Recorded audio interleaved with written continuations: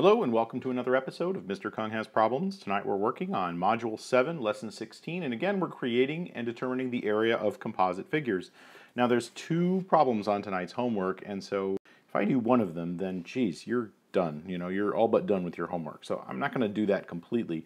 What I'm going to do instead is work with you on number two here to sort of sketch how we might draw um, a diagram. As you know from my handwriting, my sketch is pretty sloppy anyway, so I have confidence that I'm not giving you any answers, but I do want to talk through the language of this problem. Um, we're still using a read, draw, and write strategy for this, and I want to read this with you, and then I'm going to do a read, rather than draw, I'm going to call mine a sketch tonight, because your drawing is going to be much more accurate and more labeled than mine. So let's read together uh, what our problem is. Problem number two, Emmanuel's science project display board is 42 inches long and 48 inches wide. He put a six inch border around the edge inside the board and placed a title in the center of the board that is 22 inches long and six inches wide. Okay, how many square inches of open space does Emmanuel have left on his board? Okay, let's see. So we've got to figure I'm, I'm just going to think about this out loud, right? We've got a figure that is, well, it's almost square, right? But it's 42 by 48. Let's see. So I'm going to just sketch out, right? It's 48 inches wide and it's 42 inches tall. Now, you know, it occurs to me that I'm using these, um, these markings for inches, but you may not be familiar with those. So let me go ahead and erase those and just do inches.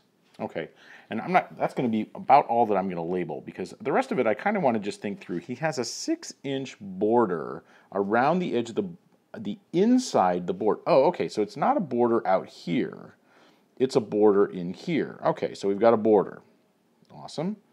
And then he's got a title. He's placed a title in the center of the board, and that's 22 inches long and 6 inches wide. Okay, so he's got some title thing in here how many square inches of open space does Emmanuel have left on his board? I see. So they're saying, well, now some of it, so they started with the, this amount of, uh, of his display board. They've taken up some of it with the border. They've taken up a chunk with the title. And then the question is really, what is this area, right? And of course, we don't have a formula for the area of a rectangle with a rectangle cut out inside of it. So we're going to have to figure that one out.